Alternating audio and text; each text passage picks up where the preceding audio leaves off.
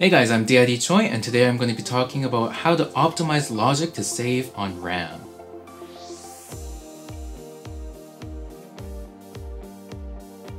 So I know a lot of you guys that use samples, especially uh, Kontakt and kind of like orchestral samples where you have a bunch of tracks. You are going to either need a lot of RAM, like 32, 64, maybe even 128 gigs, or you're going to have to start freezing your instruments. But freezing is such a pain, right? So while it is a huge pain, it will save you in a lot of situations so you can actually get through a project without having your computer crashing. So it is very important. All you have to do is right click on the tracks and then you can go into the track header components or whatever it is and then there you can select freeze and then you know the button will show up. It's a simple thing. It takes a while to freeze but then once you have it frozen, you know it's not going to be overloading your CPU or your RAM. But it is really annoying in that it just messes with your workflow. Sometimes if you have a wrong note or something, you have to unfreeze it, load in the instrument, and it's, it's a whole mess. Then afterwards, if you want to add in your effects or edit your effects, then it's a whole nother mess again. But that doesn't always have to be the way it is. So here's a quick tip for making your effects workflow a lot easier in Logic with freezing. Alright, so we're here in Logic right now. I have a little piano jingle Okay, maybe I'm gonna add some percussion.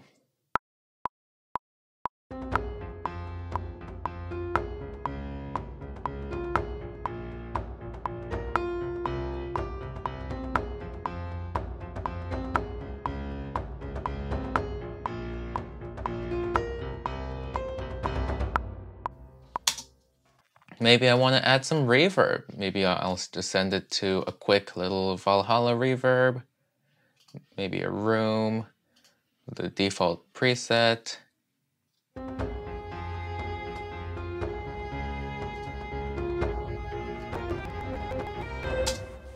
And then I just keep on adding different instruments. Then what happens? Uh,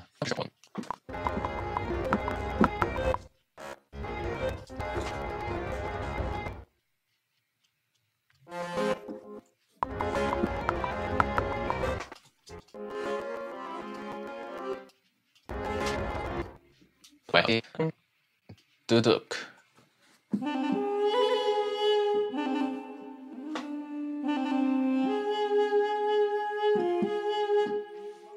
Why not? Let's try it.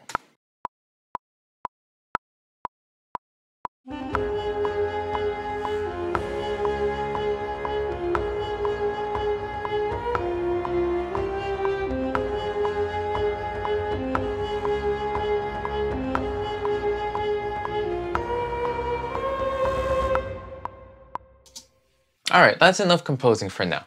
Imagine I have very little RAM and I had, I don't know, double or triple the amount of tracks that I have right now. If I were to start freezing these tracks, which is what you usually would do if you run out of RAM, you know, once I freeze it, you know, it takes a while to freeze. We wait for that. Yeah, it's gonna take a while. Oh, I should have, I should have moved the playhead. Oh, Okay, yeah, that's okay. Sometimes that happens. All right, now we got all of our tracks frozen. It's gonna be pretty light on RAM.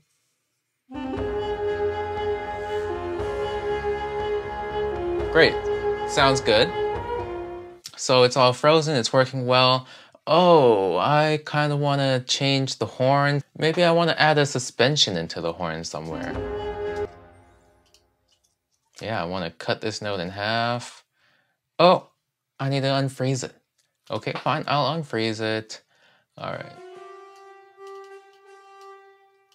Let's try that. Dig into the suspension a little bit more. Great, I like that suspension. All right, now I'm going to freeze it again because I'm running out of RAM. Okay, I'll freeze it wait for that to freeze. That's fine.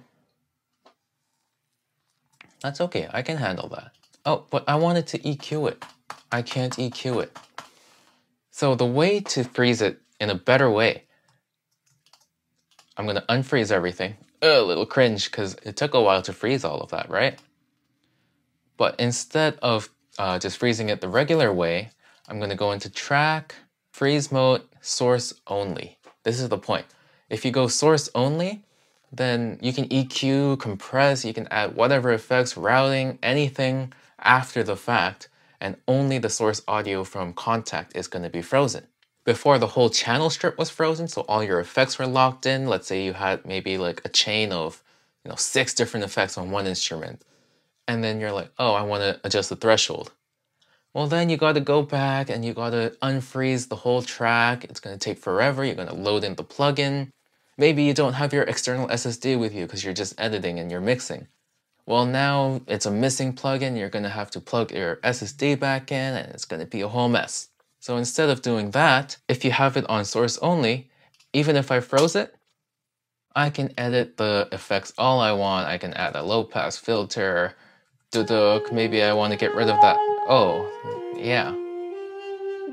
Maybe I want it super airy. You know, I can EQ it all I want.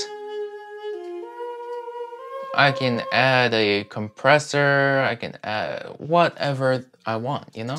And I don't have to go in and unfreeze it. Now, if I have to change the notes, yes, I will have to unfreeze it. But, you know, play the right notes and edit as you go, of course. So that was my quick tip for Logic. When you're freezing tracks, make sure for MIDI tracks, it's best to have them in source only mode. Audio tracks, on the other hand, uh, you wouldn't really freeze them in the first place for source only. That doesn't make sense because you're basically just freezing an audio track into an audio track. But let's say you have like dozens of plugins on it. Probably don't need dozens of plugins, but you know, you have a good handful of plugins. In that case, for an audio file, let's have let's make a quick audio file here. Let's say you have an EQ, you have a compressor, you have a, I don't know, a filter because you feel like it. Maybe you have a de-esser. All these tracks, then, you know, maybe you want to be more CPU efficient.